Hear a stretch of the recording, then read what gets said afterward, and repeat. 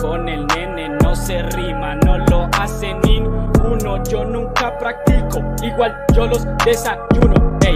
Bebé, lo estás re mal machacando, machácalo bien. Saquemos esto. Ahora lo que estoy pensando. le cree la es- chef. Ahora lo que estoy pensando de esto es dónde lo vamos a, a machacar. ¿Será aquí? Considerando que ya no vamos a hacer carne. Que si vamos a hacer carne. Bebé, ¿para qué? Primero ¿Cómo? una salchicha, ¿sabes? mejor? No, ¿cómo vas a saber mejor una salchicha? ¿Sabes qué es lo que yo estoy pensando? En la gente que desde sus hogares están intentando hacer la receta y no tienen un pedacito de carne en estos momentos. Ay, bebé, Dios mío, a mí no me ve gente de Montería, me ve gente de Medellín. Entonces, bebé, y la gente que no tiene carne en su no consideración.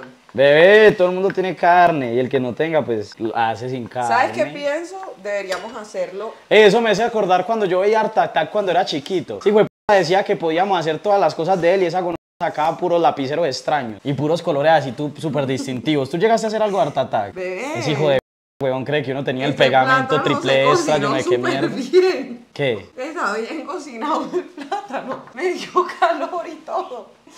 Mira, mira, uff, qué delicia. ¡Ah! Está súper caliente, no vayas a tocarlo. Bebé, por favor, es una Supreme de dos millones y medio. Que también yo sé que uno es millonario, pues si uno tiene dinero, pero tampoco para tratar así las cositas de uno. Pues yo te trato así tus chécheres. ¿Sabes qué me ofendió? ¿Qué? Cuando me dijiste, yo no sabía que tú te comprabas cosas así de caras. Ay, Pues que la otra vez salió con unas pradas, yo decía imposible. O tiene que ser triple A. No, bebé, yo confío mucho en tu capacidad monetaria. Bebé, ¿tú crees que tú podrías, en un caso hipotético de que yo me enfermo mucho, mantener mi estilo de vida durante un año porque estoy muy enfermo? Sí. ¿Los chicos escucharon el chiste? No, que se tiraste un chiste el mejor de la noche. ¿Tú crees que yo no tengo plata para sostener tu estilo de vida? Ay, bebé. Ay, mi amor. Ay, Dios mío. Mira, cuando en diciembre ¿Qué? tú vayas, vi- estés viendo Mm. mi camioneta, mi G-Wagon, Bueno, yo confío en ti, la verdad. cuando veas mi G-Wagon, nunca volverás a dudar. Cuando vea tu G-Wagon me la parques al lado del Ferrari, porfa. ¿Qué? No, nada. Mi amor, mira, mira cómo se ve cocinado. Si estás viendo. ¿Qué? Uy, ahora sí, le falta un poquitico y ya.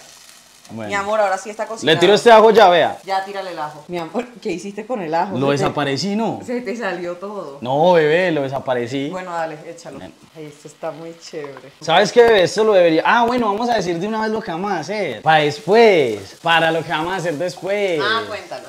Bueno, ¿cuántas personas somos? Bebé, pero se supone que queremos hacer algo. ¿Cuántas personas somos, muchachos, que a mí no me carga? Me, me quedó desactualizado. Bueno, somos 77 mil personas. Bueno, entonces 77 mil personas vamos a dar un anuncio parroquial en este momento para todo el Genial. público. Este stream de cocina en realidad lo hicimos como para que más gente estuviera para hacer el segundo stream. El segundo stream que vamos a hacer de cocina va a ser un stream con una olla gigante. Y vamos a hacer un stream cocinando, de pronto hacemos sancocho, algo así bien grande. Y adivinen qué, se me abrió el corazón, primera vez humilde yo literalmente. Vamos a hacer un stream haciendo una comida grande y tras de eso nos vamos a ir, después de haberse hecho una comida súper grande con todos los muchachos, para el río Medellín a repartir comida a toda la gente que vive en ese río. Y si eso es chimba, lo podemos hacer muy seguido. Eso es bonito. Eso sí, un aplauso para la producción, por favor. Bonito, pero creo que sería más bonito porque lo que queremos es hacer bien, no, no mal, ¿verdad? Sí. Que yo no cocine, que mejor alguien más cocine. No, bebé. La idea es el, el- el- el- la sazón de la madre, bebé. Y tú ya sabes que tienes ahí algo en el estómago que todavía no podemos decir mucho. tú ya sabes que hay algo ahí. Entonces ya tiene- Brincos dieras porque hubiera algo ahí. ¿Qué? Ay, ay, ay. Bebé, yo siento, ¿saben qué? Sí, cuando yo quede embarazada, yo no te voy a decir a ti. Yo lo voy... Porque siento que a ti se te va a salir. Y tú vas a hacer como que, como que yo te voy a decir, no le digas a nadie. De repente, stream, muchachos, voy a ser papá. Ese va a ser el primer stream que yo haga. Apenas me con la entere. mano. Prendo desde el celular en la cama. Ah, que lo pague. Ya, ¿Ya? Ah, bueno. Ya está súper bien. Quedó Mm. dorado en su punto. Vean, yo estoy seguro de algo. Si ella queda embarazada, yo voy a saber sin que ella me diga. Bebé, el problema es que... ¿Te acuerdas que yo siempre le he dicho, mira, que estamos conectados? yo Sí, por eso es que lo siento, yo por eso es que lo siento. Pero bebé, tú no puedes decirle a nadie porque pues uno quiere vivir obviamente en paz y tranquilidad y nuestro trabajo tiene todo menos paz y tranquilidad. Ay, bebé, pero es que tú tienes que acostumbrarte a la gente. No, no es que me, me acostumbre a la gente, pero es que una está loca, una está sensible, una está hormonal y tú imagínate la gente echándole uno mierda y uno todo loco y hormonal. Ay, no. Ay, yo no sé, bebé, yo siento que no, no, pues no importa, ¿no? ¿O qué? No, yo digo que hay que esperar y luego ya pues lo decimos. Uy, parce, a mí me ha pasado, bebé, es que la gente es tan hipócrita, parce. ¿Por qué? Te voy a contar dos cosas que yo les iba a contar en stream porque iba a tirar mi...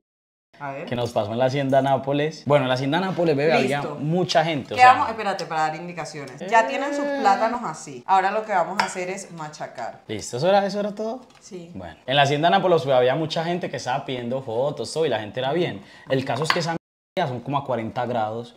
Bebé, es el lugar más caliente en el que he estado desde que nací. Pero el más caliente, de verdad. El caso es que, bueno, muy caliente y, y uno daba fotos, fotos, fotos. Y me llegó una gonorrea que trabaja allá, que todos los días está ahí al gran hijo Justo cuando yo acabo de dar, como que, uy, ¿cuántas fotos yo había dado ya? Por ahí una, un papi, por ahí unas 100, 50 fotos. Y llega y es que, me va a dar una foto, se va a agrandar. Y se sienta de una. Y yo le dije, papi, ya terminé de dar fotos, bueno, no, no podido ni tomarme un granizado que me estaba tomando. Y el man se sienta, ay, tan tocado con una foto, dice. Y le dije, párese y váyase. Y el marica se paró y se fue. Es que y, hay gente que no es Espera, y se fue a hablar mal a los amigos a decir que yo era un agrandado. Ahí yo me di cuenta que uno nunca debe pensar en una sola opinión, ¿sí me entiende? Uno saber cuál fue el contexto de las cosas. Sí. Entonces imagínese con uno después de dar una cantidad de fotos y el hijo de no es capaz ni de pedir el favor, llega como exigiendo. Entonces me pasó una vez esa y la segunda me pasa así. Pille pues, cada vez que yo daba una foto allá, se llenaba el lugar como que todo el mundo estaba esperando que yo diera una foto, ¿cierto? Ajá. Entonces llega una, una, una pelada y me dice, ¿me puedes dar una foto y un saludo para mi novio que tiene dolor en el pie? ¿Te acordás? Yo le digo, vea, yo le doy la foto, pero el saludo, la verdad no, estoy en piscina, estoy parchando. Un saludito no. Ay, pero es que le duele el pie, estoy seguro que se va a recuperar, tranquila. Ese pie se va a Un saludo no se lo va a curar, ¿sí o qué? La vieja le toma la foto y después va y le dice a la amiga, ay, yo no sé ni por qué me tomé una foto con él, ese man me cae re mal. ¿Sabes quién estaba ahí? Justo estaba ahí Camilo. Ay. Ay, la zarandió, la cogió por detrás y le dijo, le dijo a su poco, le dijo, venga, ¿usted por qué es tan hipócrita? Porque el be- bebé se vino así mirando el piso toda mansita, hombre. Yo pensé hasta que me iba a chupar el... De verdad, se vino mansita y yo digo, parce, ¿cuántas veces no será así, weón? ¿Cuántos haters no lo ven a uno y le piden una foto y después se hacen Sí, los hay santos? gente que es hipócrita. Entonces, cuando uno ve esas mismas cosas y las vive en persona, pues uno, ¿por qué se va a poner a prestarle atención a gente así? ¿Sí me Tienes entiende? toda la razón. Bueno, Pero ya te dije que el problema no son los comentarios de la gente, el problema es que una anda hormonal y loca, ¿sí me entiendes? Entonces como uno está sensible, hormonal, de pronto le afectan cosas que antes no le afectaban, pero es por la condición del embarazo. Entonces, por eso yo pienso que deberías estar callado con la información. yo igual voy a estar callado con esa información. Mejor yo siento que se te va a salir. ¿Qué es eso? No. Sí. Yo siento que lo vas a decir. Primera carne. Esas son técnicas de culinarias. Es más, toda la gente en este momento que tenga a alguien que siga en Instagram y no esté en Cartagena, papi, déjeme decirle que esa es. Cartagena en este momento está activo. Qué no estar enamorado de alguien y que suba en este momento no estaba en Cartagena. Qué tristeza, parce. En este momento todas esas viejas en Cartagena. Hay muchas en Cartagena. Bebé, obvio. Y supuestamente están allá tomando unas fotos para Avon. Bebé, alguna vez a ti te la han hecho, pero de una manera que tú digas, "Uy, No, yo nunca. bien pendejo, como Yo, creí. yo creo que jamás, nunca me han sido infiel. Pues yo, ¿Tú sientes que es que hay gente que tiene como energía de que le peguen cachos? Yo siento que hay gente que no logra. eh, bebé, yo, yo creo que para que a ti no te monten callos, primero te tienen que respetar. Sí. Y yo siento que entra a. a- Y yo siento que una persona enamorada no pega cachos, la verdad. Siento que una persona enamorada no pega cachos. Yo siento que nunca me han sido infiel, la verdad. Digo siento, pues es lo que siento. Si me han sido, pues normal. Yo también he sido con Aida por ahí tres veces ya. Cuatro, realmente. Cuatro. Mi amor, ¿tú qué piensas que pasaría si tú me pegas cachos? ¿Crees que te perdone? No, yo no haría esa mierda. ¿Para qué va a hacer eso? Pero la verdad, o sea, ¿qué sientes que pasaría si tú me pegas cachos? Mm, depende. ¿De qué? De con quién y la razón también. No. ¿Qué? Yo siento que bajo ninguna circunstancia yo, con, o sea, como que entendería que me pegues cachos. Yo creo que sí. Te pongo una circunstancia. A ver. Ponle que, digamos, yo tengo que ir a hacer un negocio en Miami. Ajá, Un tiempito, por ahí tres meses. ajá, Y a los tres meses, pues ya me siento muy agobiado, muy solo, ¿sí me entiendes? Por la presión social, ajá. todo, y rodeado de amigos de mala influencia. Sí. Y llega un momento donde uno está dormido y se montó encima de uno. Y te brincó así encima Ajá. y tú no lo pudiste controlar. No, si uno lo puedo controlar, pero ya ahí no había retorno. Ajá. ¿Listo? ¿Era, ¿Es motivo? No. ¿Y si uno estaba muy triste? Tampoco. Yo siento que si tú me pegas cachos, Mm. Prefiero que me dé una hijo de presión que yo sienta que me quiero tirar por un balcón que perdonarte los cachos. Bebé, pero tampoco así. Te lo juro. Pues yo siento que eso también es muy exagerado, muy drástico. No, yo no te perdonaría, pero ni por el hijo. de- Porque siento que yo soy como muy relajada, muy abierta y muy, ¿sabes? Chévere. Sí. Como para que me pegues cachos.